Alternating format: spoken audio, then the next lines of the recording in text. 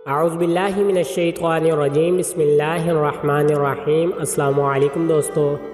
आज की वीडियो में मैं आपको ख्वाबों की ताबीर और उनकी हकीकत के बारे में बताऊँगा।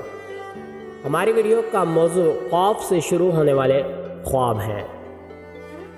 ख्वाब में कुरान शरीफ लिखना, रोज़ी हलाल पाने और परहेजगारी की दलील है। ख्वाब में कुरान शरीफ की तलावत करना नेक काम करने की दलील है। ख्वाब में कुरान का वर्क खाना।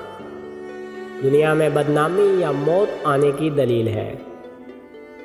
ख्वाब में कुरान शरीफ का देखना। इलम सीखने और सिखाने और खैर बरकत की निशानी है या तोलद फ़र्जंद की दलील है। ख्वाब में कलम का देखना। अदलो इंसाफ करने की दलील है या फ़न खशनुद फशनवेसी की निशानी है। ख्वाब में कब्र खोदना जदीद मकान की तामीर की बशारत है।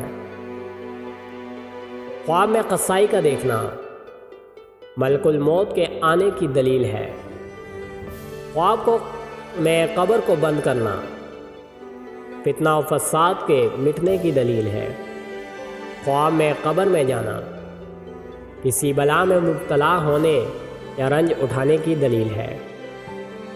ख्वाब में दूसरे शख्स को कत्ल करना मकतूल पर जुल्म करने की दलील है या कातल से मकतूल को किसी अमर में फ़ायदा होगा।